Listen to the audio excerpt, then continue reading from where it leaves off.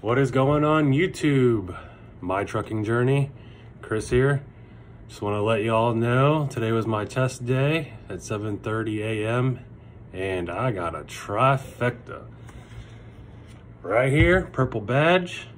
I'm officially on Prime's payroll and I got my CDL. Considered a professional driver now. And now the next step uh, is going on TNT with my trainer.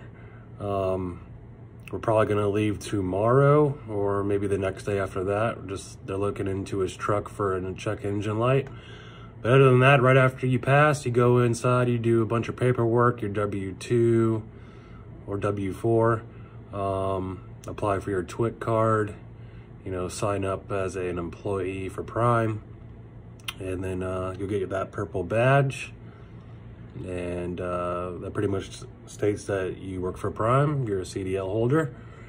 And uh, yeah, then the next phase of TNT is coming up, guys. And uh, I'm ready to get those 30,000 miles uh, done quick so I can get to the upgrade process. So in between, I'll let you I'll let you guys know how my journey goes with uh, TNT. But man, I am so happy. All the weight off my shoulders is gone. I was super nervous going in. Um, I didn't even eat. I didn't even drink my energy drink like I usually do. I was my heart was already racing, but um, I had a uh, a lady examiner, and she was very outgoing. We talked, and I mean, uh, we, we got along well, and it brought me down to you know a level head. So I went through through it, and she even said to me, "I wish um, all my students were like you."